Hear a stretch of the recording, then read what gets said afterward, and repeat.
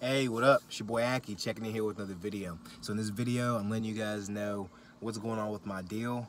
And uh, to be 100 with y'all, I have had no offers yet. I know I made a video the other day letting you guys know I had no offers, but what I did today was I actually did a $10,000 price reduction because I remember telling you guys initially that I had the potential to make anywhere from fifty to eighty thousand dollars profit on this deal, and I was going for a home run, swinging for 80, and you know what? It has not happened at all.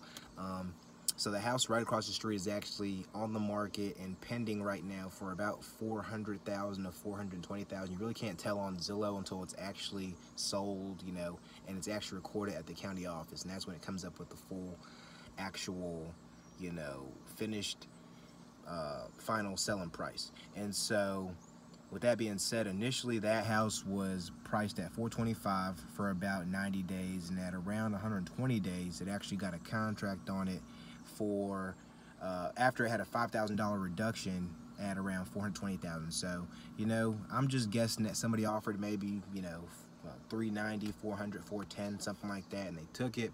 So, um, my pro my property is um, pretty much the same type of build, but my property does have a lot of smaller things that need to be done. Electrical needs to be updated. There's painting that needs to be done.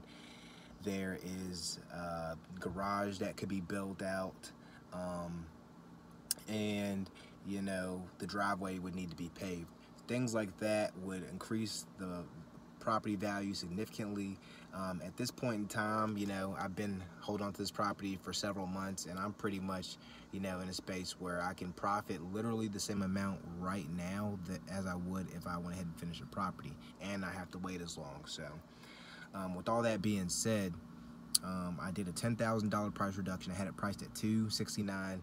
Um, right now we're at 259, and um, you know I'm gonna keep you guys totally posted. You know, let you guys know what's going on with um, you know different offers I get, different um, different ways I can exit this property. But there's um, to me there's no risk in this at all because I bought it deep enough, and you know I know the resale value you know, as is right now, I'm going to be, you know, um, still, you know, in the green significantly, you know, including all my uh, rehab costs, including all of my vendor costs in terms of, you know, uh, siding, uh, material costs and stuff like that, marketing, you know, uh, paying my employees and all that kind of stuff. I'm still in the green, so that really is the value in being able to do your own direct marketing to sellers. Is sorry guys, is being able to get such a good deal that you can, you know, uh, be able to uh, price your property um, where you can really try to you know get as much as possible and if not you're still able to reduce it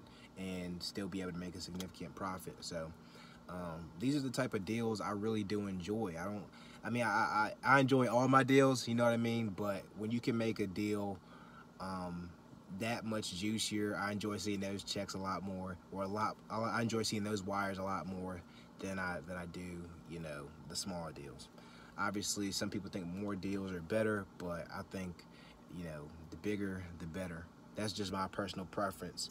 And, um, you know, so the plan is, you know, at this point is to get the property sold. So we already did one price reduction, um, $10,000, and we're to wait about a week or so.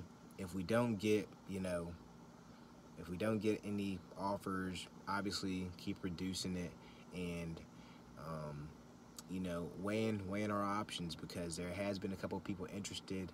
Um, maybe they're waiting to get it at a certain price, but you know, there's some people that are more attracted to a wholetail um, with with less work than others. Some people are intimidated.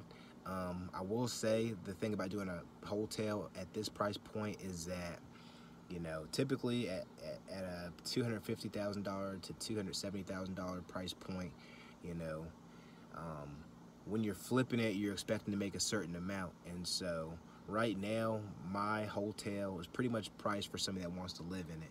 You know, it's not going to be an investor that plans on flipping it because, you know, if he's going to flip a property and make 30,000, he might as well flip a property that's, you know, you know, that's 80,000 and he can put you know 25 30 into it and then sell it for 150 155 160 you know he can do the same work there um, and with less risk and less lender costs than you know buying my property so that's pretty much what a wholesale is man you really want to look for those buyers that are gonna either live in it or pay that retail pricing or close to that retail pricing so um, just a quick update deal update um, I know I'm sweating like a mug just getting back from doing a workout, so um, excuse that. I will talk to y'all in the next video, and I will keep you posted. All right.